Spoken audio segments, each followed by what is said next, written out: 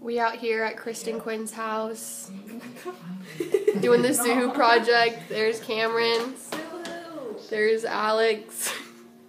There's Sarah. Arithmetic sequence versus geometric sequence. So like in arithmetic sequence sequence, you're like adding four every time and like since it's like addition, that's why it's arithmetic. And then geometric, you're like multiplying by two, and since you're multiplying, that's what makes it like geometric, and that's like the difference between the two. And like there's there are different um, equations. So like arithmetic sequence is an equals a1 plus n minus 1 times d, and geometric sequence is an equals a1 times r to the root of n minus 1 and um, basically, you know, that's the difference. And if they're not either, like if they don't multiply or they don't, they're not like, say it was like, if it was like 8, 12, 22, 100. 100, and they don't like have a common difference like between all of them, like this, like 8 and 12 is like 4, I think. Yeah, it is. and then, no? Yeah. So if they don't have a common pattern, If they don't have a common pattern, then they're neither. neither. Good. So yeah, that's it. Okay, so this is summation notation. Um, the number on top is the last number. The number on bottom is what you plug in for i. So when you're given the um, formula, you just plug in the number for i, and every time it goes up. So as you see here, I plugged three in for i, and then for every num every little like um, parentheses, I move I put I went up from three. So I went three, four, five, six, and so on and so forth and then I um, squ- squared each of them and I added them together and it got negative 364. And then, yeah, it goes up to 10. It goes up to the last number, as you see here. And so that's the summation notation. Yeah. Okay. Alright, so uh, we're gonna find the sum here.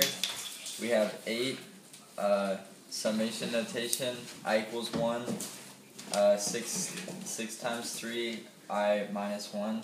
And then, um, so we're gonna find the first term and the common ratio of that. So, um, our common ratio is 3. So we identify the first term and the common ratio, and then now we're gonna find the sum of it.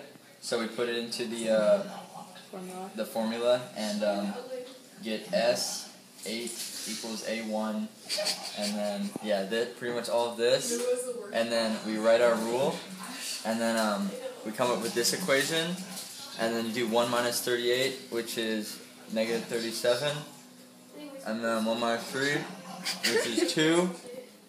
Substitute B for A and three for R, and then come out with nineteen thousand six hundred eighty. So, at some of Vaughn's grocery store, you stack apples into a square pyramid.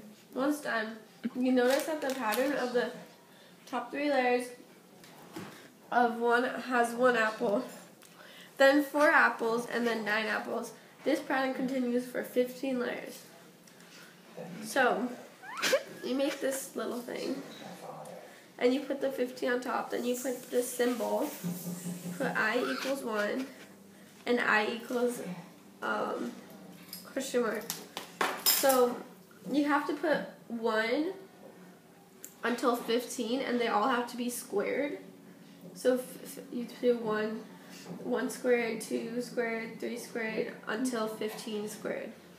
And then you add those all up, and then you get 1, 2, 4, 0. So that's the answer. Alright, so you can also use this to for the sum of squares. You plug in 15 um, and then 15 plus 1 and 30 plus 1 over 6, and then you get 82.7 times 15, and then you get 1240, the same answer as we got in the problem before.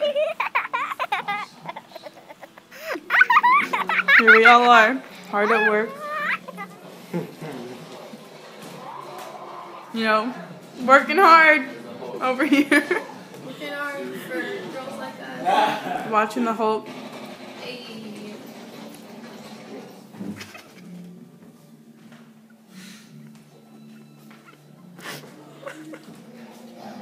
Suhu, we love ya. We're grateful for ya. You're gonna ace this test.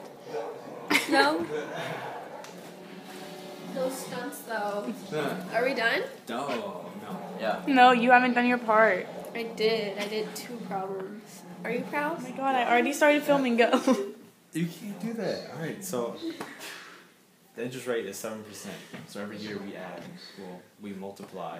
It's multiply or add. add. You add. That's right. You add the interest rate into it You add the interest rate every into it every single year. until So 32 until years. Thirty-two years. And After three years, well, after you get that three much. years, you get this much. but you only put in 18,000. You're recording this? Okay. But every, but every well, eighteen thousand. So if you like subtract 18,000 from the amount that you like actually got in the account, you're making $1,000,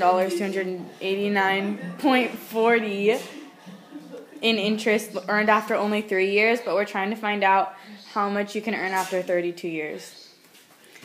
Take over, Cameron. over here. Oh. So you Okay. plug into the uh, sum equation. So you plug into the sum equation. So Sn equals six thousand. You do this all in the calculator. Well, on this is on the calculator. Because there's like lots of decimals. Yes, lots of decimals. So in, parentheses, there's one minus the interest rate with the exponent of thirty-two, and then over one minus the interest rate. And then Sn equals six thousand, and then your answer right there. And Sn equals six thousand with eleven. It was like lots of decimals after that. Yes. And then Lots. lots of those. And Sn equals six six hundred thousand six hundred Sixty no six hundred sixty one thousand three hundred eight dollars and ninety three cents. Yes. And then you take that Calculator. and you subtract it by how much you put into the account. So like you personally put in 192 grand. But Yes. in the account there's 661 around 661 grand. So when you subtract those you get $469,308.93 and that's the profit you make after 32 years of basically doing nothing.